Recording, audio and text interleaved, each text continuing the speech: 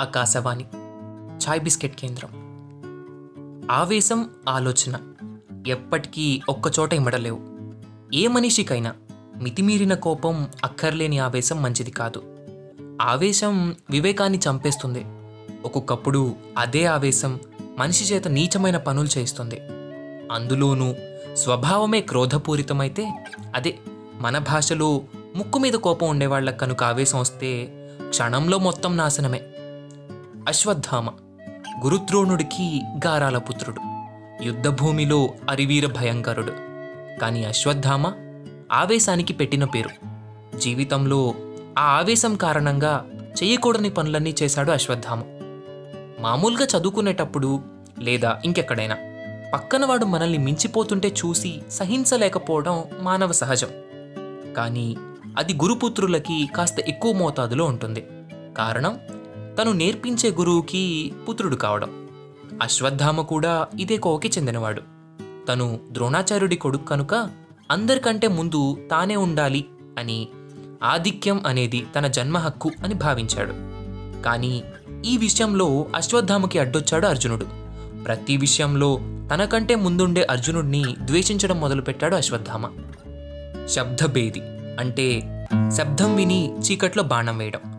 ఈ విద్య అర్జునుడికి అందకూడదు అని అసలు ఆ ఆలోచనే రాకూడదని అర్జునుడికి చీకట్లో భోజనం పెట్టొద్దు అని ఆదేశించాడు అశ్వత్థామ. కానీ ఓ రాత్రి భోజన సమయంలో పెద్ద గాలికి దీపం మారిపోయింది. కానీ రోజు చేసే పనే కనుక అలవాటులో చీకట్లోనే తినేశాడు అర్జునుడు. వెంటనే ఆలోచన తట్టి చీకట్లో బాణం వేయడానికి ప్రయత్నించాడు. ఆ చీకటిలో వింటి నారి శబ్దం విన్న ద్రోణాచార్యుడు అర్జునుడిని చూసి అతని ఆసక్తిని మెచ్చుకొని అతన్ని ఈ సృష్టిలోనే మేటి విలుకాణ్ణి చేస్తానని మాటించాడు. ఈ సంఘటన అశ్వత్థామలోని ద్వేషాన్ని మరింత పెంచింది. అర్జునుడి ప్రతిభకు మెచ్చుకున్న ద్రోణుడు అతనికి బ్రహ్మాస్త్రాన్ని ఉపదేశించాడు. ఆవేశపూరితుడైన అశ్వత్థామ తండ్రి దగ్గరికెళ్ళి ఆ అస్త్రం తనకు కూడా ఇమ్మని అడిగాడు. తన కొడుకు ఆ అస్త్రం పొందడానికి అయోగ్యుడు అని తెలిసినా కూడా కన్న ప్రేమకి కట్టుబడి ఆ అస్త్రాన్ని అశ్వత్థామ కూడా ఉపదేశించాడు ద్రోణుడు. ఆ బ్రహ్మాస్త్రం తన వద్ద ఉంది అనుకోగానే అశ్వత్థామలోని అహంకారం నిద్రలేచింది. అది ఎక్కడిదాకా వెళ్ళిందంటే ఓనాడు ద్వారకలోని శ్రీకృష్ణుడి దగ్గరికెళ్ళి సుదర్శన చక్రాన్ని తనకిమ్మని అడిగాడు. ఎందుకు? అని కృష్ణుడు అడిగితే నేను నిన్ను ఓడించాను అని అందరికీ చెప్పుకోవడానికి అని పొగరుగా బదులిచ్చాడు. చిరునవ్వుతో తీసుకోమన్నాడు శ్రీకృష్ణుడు. ఎంత ప్రయత్నించినా సుదర్శన్ చక్రాన్ని ఎత్తలేక చివరికి ఇది నీలాంటోళ్ళకి సరిపోతుంది. నాకు అక్కర్లేదు అని పొగరుగా మాట్లాడి వెళ్ళిపోయాడు. అర్జునుడి మీద ద్వేషం అశ్వత్థామను కౌరవులకు దగ్గర చేసింది.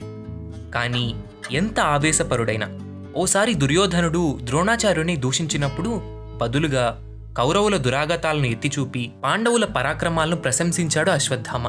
కొన్ని రోజులకి కురుక్షేత్ర యుద్ధం ముగిసింది. తొడలు విరిగిన దుర్యోధనుడు మడుగు పక్కన చావు బ్రతుకుల్లో పడున్నాడు.